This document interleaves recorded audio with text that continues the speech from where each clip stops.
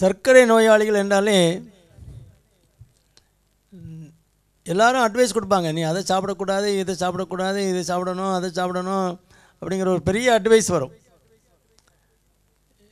இப்போ சமீப காலத்தில் சிறுதானிய உணவுகளை பற்றி கோயம்புத்தூர் டய டயபெட்டிஸ் ஃபவுண்டேஷனில் நான் சர்க்கரை நோய்க்கு பயிற்சி எடுத்த அந்த ஒரு நிறுவனத்தில் மூன்று ஆண்டுகளாக செய்த ஆய்வினுடைய முடிவுகள்லாம் அமெரிக்கன் டயபெட்டிக் அசோசியேஷனுடைய ஆனுவல் கான்ஃபரன்ஸில் வருடாந்திர அந்த மாநாட்டில் வந்து ஆய்வு கட்டுரைகளாக சமர்ப்பிக்கப்பட்டு அது உலகளவில் ஏற்க ஏற்றுக்கொள்ளப்பட்டிருக்கு. அதில் உள்ள முடிவுகள் வந்து நம்ம கண்டிப்பாக சமுதாயத்துக்கு கொண்டு செல்லணும் அப்படிங்கிற ஒரு கருத்தில் தான் நான் இன்றைக்கி உணவு சம்பந்தமான டாப்பிக்கில் அந்த சிறுதானிய உணவை எடுத்தேன். எடுத்தேன்னா இப்போ நம்ம அந்த காலத்தை எடுத்துக்குவோம். இப்போ நான்லாம் சின்ன குழந்தையா இருக்கும்போது எப்படியும் கம்பும் கஞ்சி இருக்கும்.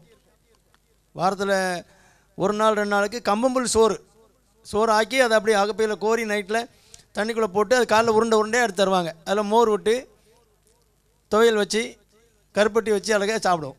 சின்ன குழந்தைகள் அது இல்லாமல் அந்த மனம் இப்போமே வருது எனக்கு. அப்புறம் கேப்பை வந்து களி இருக்கும் அல்லது கூழ் இருக்கும் குழந்தைகளுக்கு. அது எப்படியும் வாரத்தில் ஒரு நாளைக்கு இருக்கும். அப்போ சிறுதானிய உணவுகள் வந்து ஏதோ வகையில் நம்மக்கிட்ட வந்து சின்ன குழந்தையில் சேர்ந்துக்கிட்டே தான் இருந்திருக்கு. கிராமங்கள்லேயும் எப்போதும் அரிசி சமையல் சமைக்க மாட்டாங்க. சிறுதானிய உணவு சாப்பா சமையலும் இருக்கும்.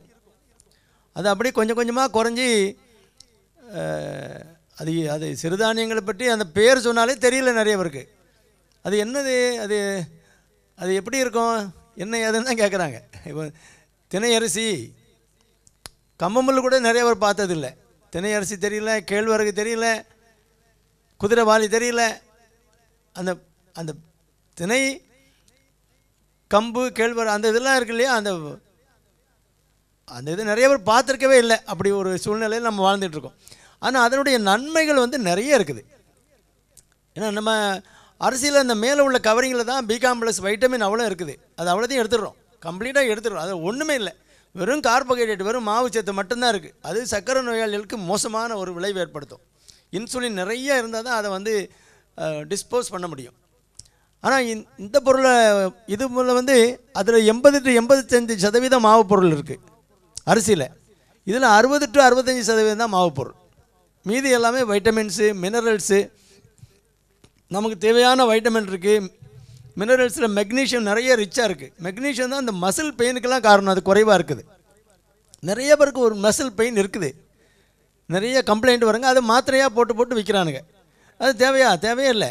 நம்ம நேச்சுரல் நம்மளோட உணவுலேயே அது சேர்ந்துட்டுனா அந்த மேல் வழியெலாம் வராது. தசைக்குள்ளே கொழுவி பிடிச்சி இழுத்துக்கிறது அப்படியே கிராம்ப் மாதிரி வர்றது. நைட்டில் திடீர்னு ஒரு நிடிச்சு விட்டாங்கன்னா அங்கே பிடிச்சிக்கணும் ஐயோ ஐயோ ஐயோ அம்மா அம்மா சத்தம் போட்டாங்க இதுதான் பார்க்குறோம் குழந்தைகளுமே ஸ்கூலுக்கு போயிட்டு வரும்போது காலுக்குள்ளே பிடிச்சிக்கிட்டு கைக்குள்ளே பிடிச்சிக்கிட்டு அம்மா பிடிச்சி விடு ஐயா பிடிச்சி விடுன்னு உட்காந்துருக்காங்க ஆனால் இந்த நுண் சத்துக்கள் எல்லாம் சிறுதானிய உணவில் இருக்குது அது சர்க்கரையை கூட்டக்கூடிய தன்மை வந்து ரொம்ப குறை. இப்போ ஒரு சிறுதானிய உணவில் ஒரு சிறுதானியம் ஒரு திணை அரிசிலேயோ ஒரு குதிரைவாளிலேயோ ஒரு பொங்கல் செய்து அதை நீங்கள் காலையில் உணவுக்கா உணவாக அதை சாப்பிட்டிங்கன்னா அந்த சாப்பிட்ற ஒரு அஞ்சு பேரை எடுத்துக்குவோம். இன்னொரு அஞ்சு பேர் இட்லி சாப்பிட்றாங்க. இன்னொரு அஞ்சு பேர் சப்பாத்தி சாப்பிட்றாங்க. இப்படி எடுத்துக்கிட்டால் அந்த சாப்பாட்டுக்கு அப்புறம் சர்க்கரை கூடக்கூடிய அளவு வந்து அந்த ஆராய்ச்சியில் என்னென்னா நாற்பது டு ஐம்பது மில்லிகிராம் தான் கூடுது. இந்த சிறுதானிய உணவு சாப்பிட்டவங்களுக்கு. ரெகுலர் ட்ரீட்மெண்ட்டில் இருக்காங்க. அதே மாத்திரை தான் போடுறாங்க. அதே இன்சுலின் போடுறாங்க. ஆனால் அந்த ஹோட்டலில் இட்லியோ தோசையோ அல்லது ஒரு சப்பாத்தியோ சாப்பிட்றவங்களுக்கு வந்து நூறு டு நூற்றம்பது கூடுது. அப்போ இது எவ்வளோ பெரிய ஒரு மோச எவ்வளவு பெரிய தாக்கத்தை உண்டு பண்ணுன்னு பார்த்துங்க. அப்போ சர்க்கரை நோயாளிகளுக்கு சிறுதானிய உணவு ரொம்ப சாலச்சிறந்தது அதை நீங்கள் பொங்கலாக காலையில் பொங்கலுக்கு பதிலாக நீங்கள் அரிசி போடுறதுக்கு பதிலாக சிறுதானியங்கள் போட்டுக்கலாம். பருப்பு சேர்த்துக்கலாம். அப்போ இது வந்து சிறுதானிய உணவில் சர்க்கரை தன் கூட்டக்கூடிய தன்மை மட்டும் குறைவில்லை. அது ரொம்ப பசி தாங்கும். ஏன்னா இது காம்ப்ளெக்ஸ் கார்போஹைட்ரேட் நீங்கள் எந்த ஒரு மாவு பொருளுமே நார்ச்சத்தோடு சேர்ந்து இருக்கும்போது ஜீரணமாகக்கூடிய தன்மை குறையும். அப்போ வயிறு ஒரு நிரம்பின ஒரு ஃபீலிங் இருக்கும். அதுதானே வேணும்? வயிற்றுக்கு சாப்பிட்டியா அப்படின்னு தான் கேட்பாங்க. ஆமாம் வயிறு நிரம்பிச்சதுக்கு மேலே சாப்பிட முடியாது. ஒரு ஃபீல் வந்துடுதுல்ல நமக்கு. நிறைஞ்ச மாதிரி ஒரு ஃபீலிங் அது வந்து அந்த சிறுதானிய உணவுகளில் ரொம்ப அதிகம். அதுவும் போக நான் சொன்னேன் வைட்டமின் மினரல்ஸ் எல்லாம் நிறைய இருக்குன்னுட்டு. அதனால் சிறுதானிய உணவுகளை வந்து எப்படியும் நம்மளும் சாப்பிடணும். அது ஒரு மனமாகவும் இருக்குது. அதை வந்து அது தீட்டப்பட்ட உணவுகளை எடுக்கக்கூடாது. கதிர்லை சேனலை சப்ஸ்கிரைப் செய்யுங்கள்.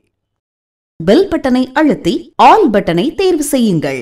லைக் பண்ணுங்க கமெண்ட் பண்ணுங்க ஷேர் பண்ணுங்க.